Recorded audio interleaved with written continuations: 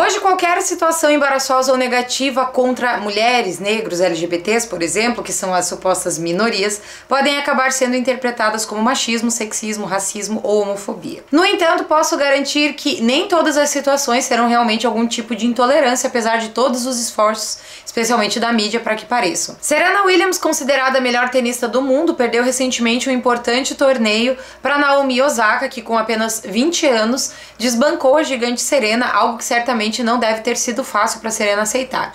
Mas a questão é que durante a partida da final desse campeonato, o árbitro precisou advertir a Serena três vezes. Primeiro porque aparentemente Serena recebeu instruções de seu técnico, algo proibido no tênis na vigência de uma partida. A segunda advertência foi por Serena ter quebrado intencionalmente a raquete, o que também é uma falta grave.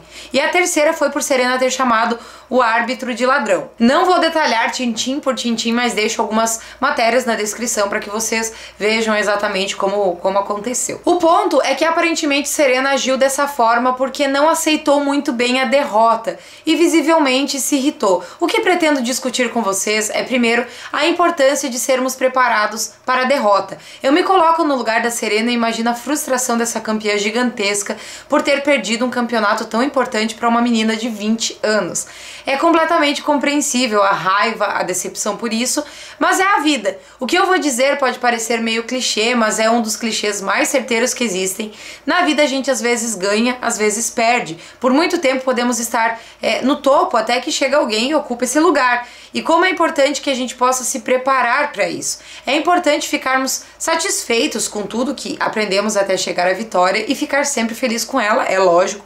Mas é essencial que nosso psicológico esteja consciente de que não somos imbatíveis e nem sempre teremos a vitória. Uma vez, em terapia com uma baita, uma psicóloga, eu disse que eu ficava muito receosa de cantar em público porque eu tinha consciência de que sempre iria aparecer alguém que cantasse melhor. E ela me disse duas coisas muito bacanas. A primeira foi que não é questão de ser melhor ou pior, mas sim de eu ter o meu talento e a outra pessoa ter o talento dela, embora pareçam o mesmo talento que é cantar.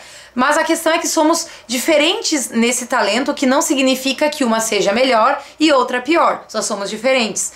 Mas a segunda coisa que ela me disse foi que mesmo que realmente, de fato, aparecesse alguém melhor, com mais técnica, mais carisma, mais afinação, enfim. O caso é que é algo natural, mas as pessoas não são acostumadas a lidar com isso porque não são ensinadas a lidar com isso. Pelo contrário, somos sempre cobrados para competir, vencer, ser os melhores em tudo, superar os outros.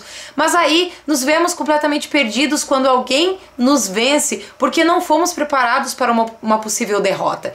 E por isso eu passei a carregar um lema muito importante que é focar nos meus talentos e não nos talentos alheios. Ou seja, eu devo me superar a cada dia e não superar o meu vizinho. Buscar o aperfeiçoamento pessoal me coloca como vencedora de mim mesma. E isso é importante porque quando a derrota surgir, ao menos eu vou saber que eu fiz o meu melhor. E azar se eu perdi para fulana, pelo menos estou consciente de que dei o meu máximo naquilo. Creio que ter essa consciência evita muita frustração e faz com que o trabalho que amamos fazer e o nosso talento se torne prazeroso e não um fardo e uma eterna disputa de poder, uma necessidade constante de ser melhor que os adversários. E geralmente quando colocamos amor nos nossos trabalhos, eles ficam mais agradáveis e consequentemente com mais qualidade. Tudo que se faz com prazer se torna melhor, não é? Óbvio que podemos ficar tristes com a derrota e felizes com a vitória, mas mais importante do que isso é saber que internamente, independente de vencer ou perder, estaremos felizes com o que estivermos fazendo e satisfeito com os nossos esforços. O segundo ponto, ainda sobre o exemplo da Serena Williams, é a importância de reconhecermos nossas falhas e não culpar os outros por nossas frustrações, nem encontrar desculpas infundadas para os nossos problemas e reações.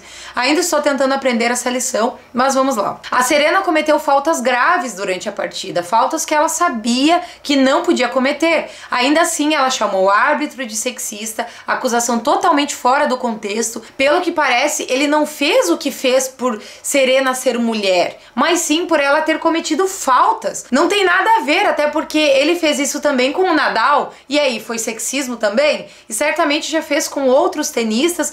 E o problema é que Serena não quis admitir suas falhas e fez de tudo para empurrar a responsabilidade pro árbitro, usando inclusive um discurso totalmente fora de nexo, né, para tentar se esquivar da responsabilidade pelos seus atos. Todo mundo erra. Todo mundo às vezes surta, quem nunca surtou? Mas creio que mais importante do que não surtar é reconhecer nossos momentos de insensatez, de destempero e não responsabilizar os outros pelas consequências dos nossos atos. Existem muitos problemas emocionais envolvidos nisso, né? Problema de ego, de insegurança. No caso de uma pessoa tão talentosa, famosa como a Serena, há problema também de uma, uma baita pressão psicológica, aquela exigência de que ela precisa vencer sempre. Eu compreendo o lado de pessoas como a Serena. Não deve ser fácil viver com a pressão de ser a melhor do mundo o tempo todo. E claro, ela tentou lidar com a situação da forma como deu na hora. E por isso mesmo volto a enfatizar a importância de tentarmos nos preparar para a derrota, é, para as frustrações, para a realidade de que um dia